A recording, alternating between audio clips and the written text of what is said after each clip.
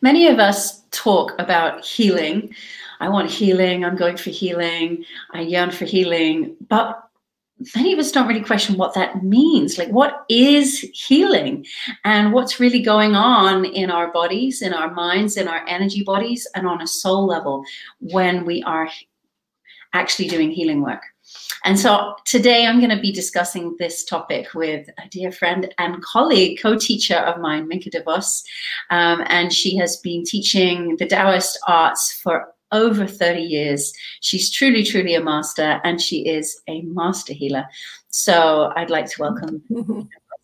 welcome. Here. Yeah, oh, I'm so happy to be talking about this topic with you, especially having been working at your side so many years and sealing the immense power of the healing work that you do. Thank you very much. So so honored to be by your side. so Minke, I thought we can really just dive into this question, this topic. What is healing? So how would you def define healing? I would define healing as a liberation of trapped energy that wants to be freed. Uh, mm-hmm. So we can return back to our true nature, that we can come back to love, return to love. Mm-hmm. And uh, a lot of that trapped energy is like beliefs and negativity and negative emotions and patterns that could be so conditioned from the past and even our ancestral past. Right. So, like ancestral patterns that are cutting off energy can be passed down to us. And so we take on those contractions or pains or suffering, I suppose. They are like they're revealing themselves in this life to be healed. Right. They're asking, please, please heal me. Please liberate me, please. so then, uh, would you say our suffering or our pain is like a call, is like a cry for help? Yes, cry Just, for help and and often our spirit is is listening and but often our busy mind is not hearing it and mm-hmm. so if it comes from the spirit these things it can download into the energy where we'll start to feel it subtly and then it can download itself into physical ailments. Mm-hmm. to catch it when it's in the energy. Right. So we, we listen quietly. we can hear help me. Right. So if we're actually meditating and listening, then we can hear things like in the ether and start healing them. But if we don't hear, they're going to kind of come down into more physical matter and then start screaming in our bodies sometimes. Yes. Or practice like uh, clearing ancestral knots from shamanic Chinese medicine is preventative. Mm-hmm. You, you clear these remnants of like a residue of lifetimes your, so your, an ancestral knot is could you just define that like for people that ancestral knot is is uh, emotions uh, that is trapped that's not bonded in unconditional love right it's not based in integrity uh, mm-hmm. it has gotten distorted mm-hmm. that gets mm-hmm. knotted together so it actually needs to be consciously unraveled so how do I con- consciously consciously unravel this? Is shining the light of your consciousness into it and love, unconditional love. Mm-hmm.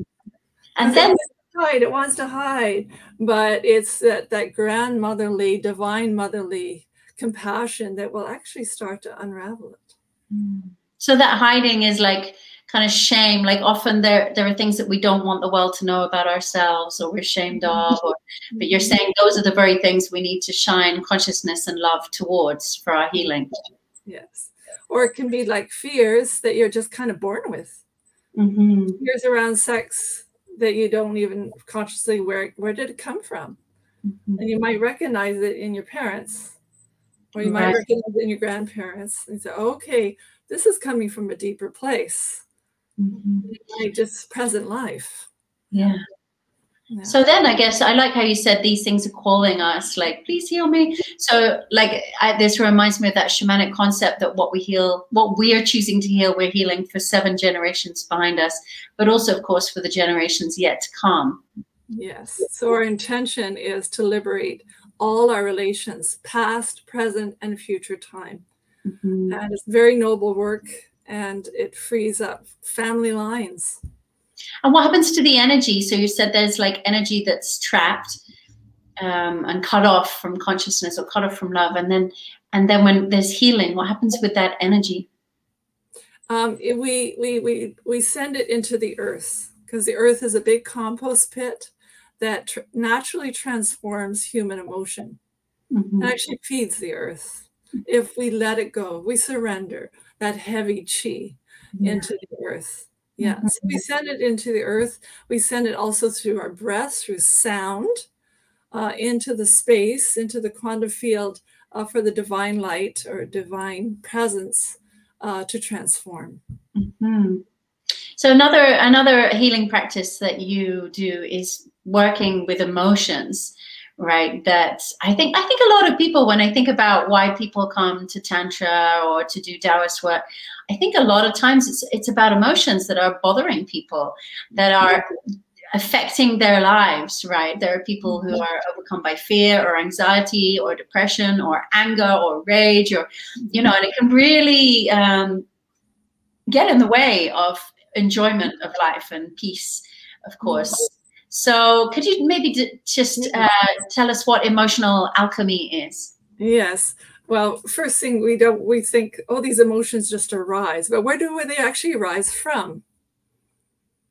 The Taoists did lots of investigation inside, and that they say it's coming from our organs, our internal organs.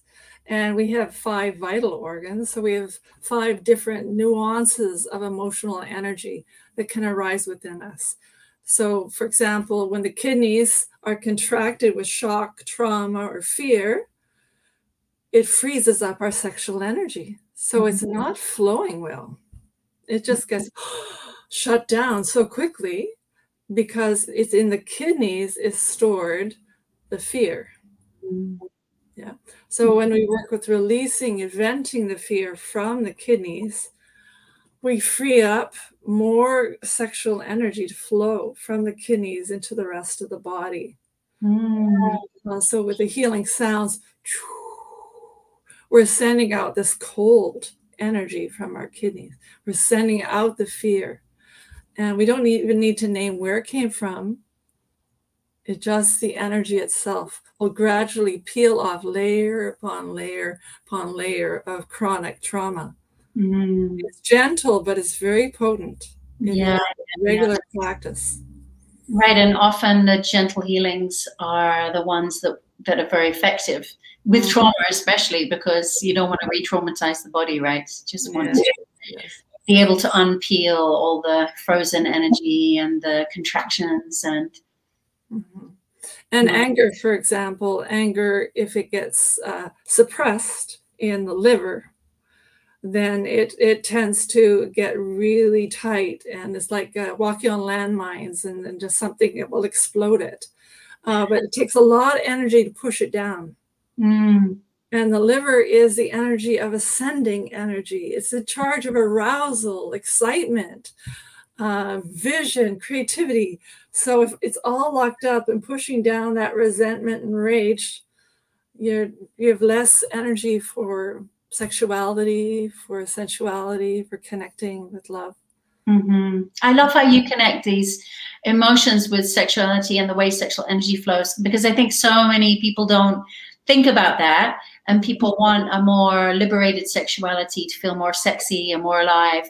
And many people don't even notice the the effect of their emotions on their sexuality that, that fear can freeze it up and anger can can start battling against our own passion. And mm-hmm. you know, that actually it's so important to go underneath the sexual energy to the emotional energy uh, in order to to make a healthy sexual energy yes yes yes oh and depression you know with the, with the posture you're just all sunken and curled down mm-hmm. you don't feel very sexy yeah, absolutely. No, you just want to hide in a hole.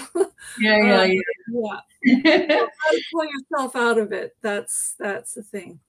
How do we pull ourselves? And this is date. This is practice. With yeah. practice, we just send it out with our intention mm. and our gratitude as well, because often these emotions had a message for us or a way of coping. So we do send send release it with gratitude Mm-hmm. Then we reprogram it right away. So this is what's really wonderful mm-hmm. about the Taoist practices. When you release a low frequency energy, you reprogram with high frequency energy right away. So the old patterns don't creep back in. Again, mm-hmm. you have replaced it with a, a stronger light field.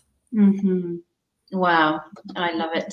So in the in the tantric healing symposium, you're going to be offering two different classes on both of these topics, right? So the emotional alchemy and emotional healing class, and it'll be practices that people can do with you, and then, as you say, have turn into a daily practice. Mm-hmm.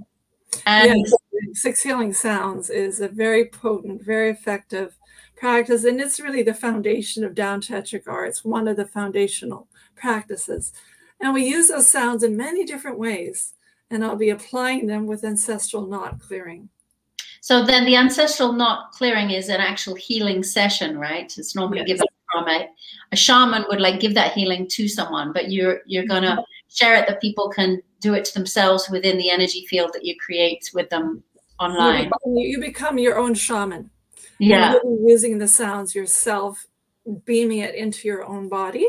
Mm-hmm. and we'll use some strong prescription sounds as well that are stronger than the six healing sounds mm-hmm. like a deep deep cleansing mm-hmm. of the emotional body. Wow. So this is going to help people to clear ancestral patterns that uh, might have been passed down for generations. Yes. And you wonder where is those where are those ancestors are they buried in the ground somewhere? The Taoists say no. They are inside of you. They're in your living in your bones. They're living in your DNA. Mm. And in this session, they're living in your breathing. Mm. Mm-hmm. So your male and female ancestors are sitting in your lungs. Yeah. Maybe we're having a big global uh, ancestral healing right now. yeah. we're not, we should be, Minke. Maybe yes. you out on every TV. Everybody clearing their ancestral chi out of their lungs. Maybe that's yeah. what needs. yeah, well, it's a time of a shift, you know, into that new age, a new energy, new light coming in. Yeah, the planet's definitely up to something.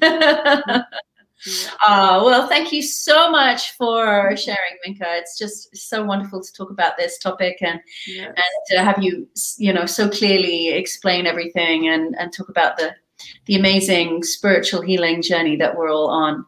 Yes. So, thank you so much. The symposium it always flows so well, mm-hmm. and with this sharing circles, everyone gets a chance to speak out from their own experience Um, yeah, yeah, I, I really enjoy it too. it's my pleasure, and thank you for being part of it. Yes. we'll see you.